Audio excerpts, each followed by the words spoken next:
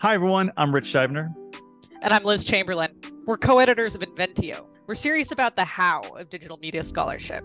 In Inventio, authors interrogate how their digital scholarship came to be. And as Inventio editors, we invite you to participate in this series.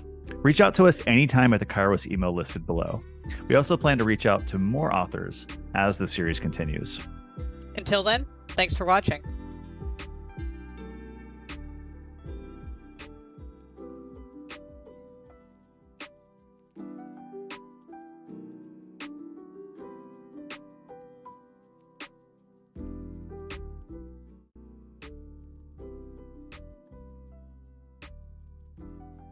I initially I, I, wrote the first draft as part of a class assignment.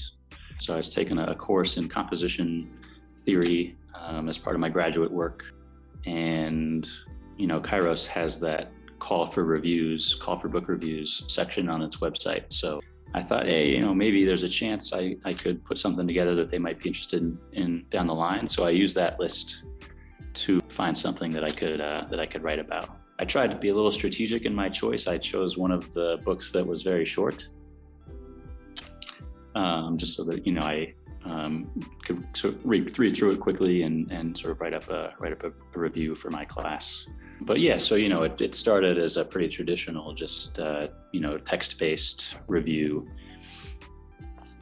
and so a lot of the the research um, and prep that I had to do for this web text involved basically learning the uh, you know HTML and, and CSS uh, programming languages and and sort of figuring out how to do that because I'd, I'd never done that before.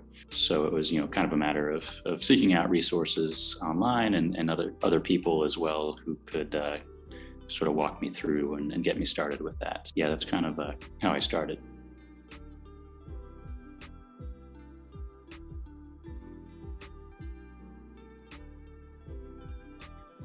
Suppose one thing is that you know you you kind of expect that you like you're you're almost trying to tell like like to give readers a sense of whether or not you know the thing you're reviewing is something that they want to go look at themselves. So I you know I wanted to be I guess yeah just more intentional about picking out the the main ideas from the text and saying more about you know who specifically uh, might find the text useful and, and in what ways. Just trying to focus more on that than maybe I would in other types of writing.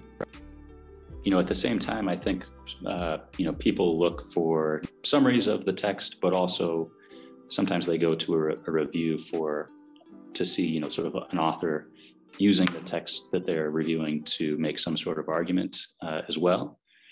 Um, and so I didn't want it to just be kind of saying, here's what the text is about, but I also wanted to try to have it have it be sort of my own you know, here's my own kind of analysis or uh, argument related, you know, about sort of similar themes or similar topics.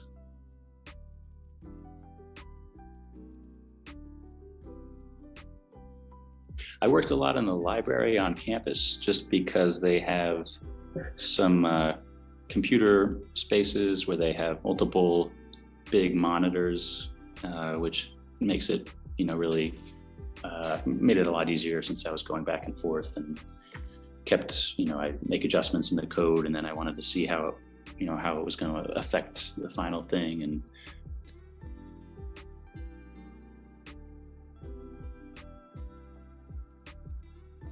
for me, it's, it's always evolving, you know, I'm always kind of learning new things. And, you know, one thing that I have tried to get better at over the years is getting um, feedback from you know at least two or three other people. So in this case, I did you know I sent it to uh, a few other uh, professors here, and and they all had sort of different things, you know, helpful things to say about it, as well as the editors, the Kairos Book Review editors. So that's something that I I've been trying to do more consistently, and I think the in this case, the book review really benefited a lot from um, different perspectives, and you know they could let me know what's clear, what's not clear. Um, do I need more examples of things?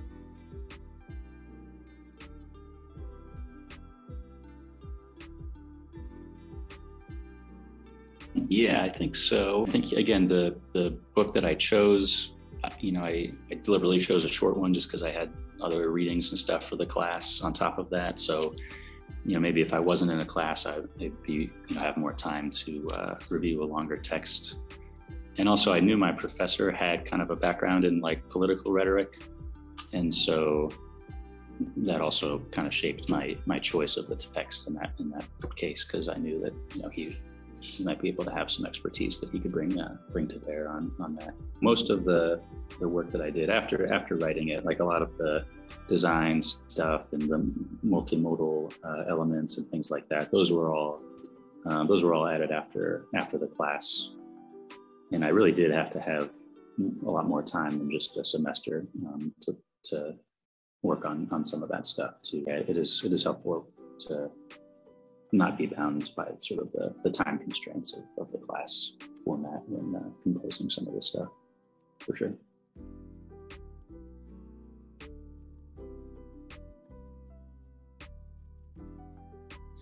Yeah, yeah, definitely. Um, one of my professors, Tom Miller, gave me some great advice recently. He said that, you know, one thing to keep in mind is that when when I'm writing something for a class, you know, my that the professor is really being paid to to read my stuff. Um, whereas when you're writing for people other than your professor, um, you know, you really have to do things a little bit differently just to kind of get their attention and to hold their attention. You know, there, there's nothing that's sort of making them read what I write. And so I have to be, I think, more, try to think more about, okay, how am I going to make this worth their while? Um, do more things like, you know, forecasting or previewing what I'm going to talk about, just so they kind of have a sense of whether or not this is something that they want to spend their time with. It is something I have to be more thoughtful about and sort of adjust, yeah, adjust my my writing with that in mind.